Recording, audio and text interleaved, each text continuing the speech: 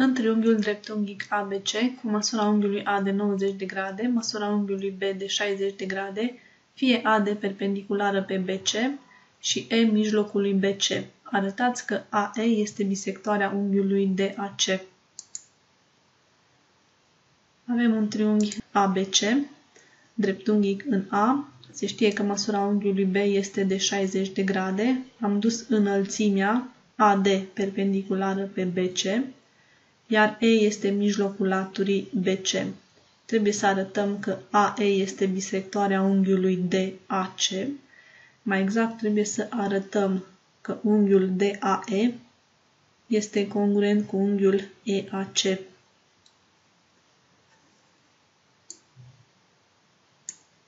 Având în vedere că E este mijlocul laturii BC, înseamnă că AE este mediană. Am văzut că mediana într-un triunghi dreptunghic este jumătate din ipotenuză. Vom scrie că în triunghiul ABC dreptunghic AE este mediană. Va rezulta că AE este jumătate din BC, însă E fiind mijlocul lui BC, va rezulta că AE este egală cu BE și egal mai departe cu EC. Dacă AE este egală cu BE, înseamnă că triunghiul AEB este un triunghi isoscel. Rezultă triunghiul ABE isoscel. Se știe din ipoteză că măsura unghiului B este de 60 de grade înseamnă că triunghiul ABE este un triunghi echilateral.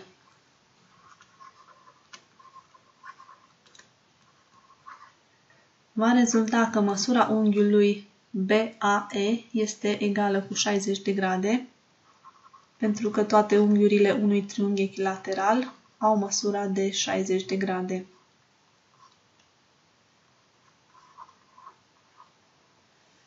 În acest triunghi AD este perpendiculară pe BE, deci AD este înălțime, însă știm că într-un triunghi echilateral înălțimea este și bisectoare, deci va rezulta că unghiul BAD este congruent cu unghiul DAE.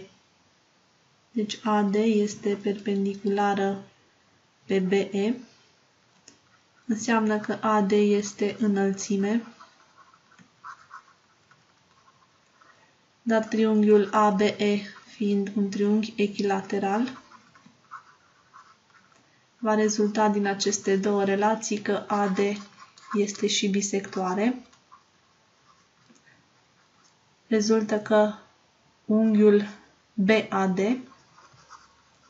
este congruent cu unghiul DAE. Dacă măsura unghiului BAE este de 60 de grade, înseamnă că aceste două unghiuri vor avea fiecare măsura de 30 de grade. Din aceste două relații va rezulta că măsura unghiului BAD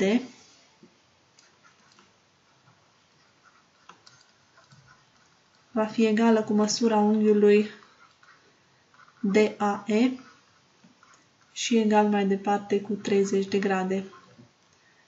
Reținem această relație o notez cu 1. Putem să calculăm acum măsura unghiului EAC. Dacă scădem din 90 de grade cele 60 de grade, adică din măsura unghiului BAC, scădem măsura unghiului BAE. 90 minus 60 este 30. Deci unghiul EAC va fi tot de 30 de grade înseamnă că el va fi congruent cu unghiul DAE, pentru că au aceeași măsură. Așadar, am arătat că AE este bisectoarea unghiului DAC. Măsura unghiului EAC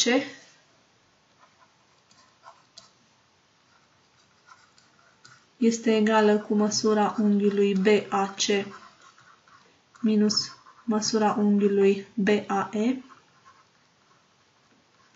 egal mai departe cu 90 de grade minus 60 de grade egal cu 30 de grade. Aceasta este relația 2 din 1 și 2.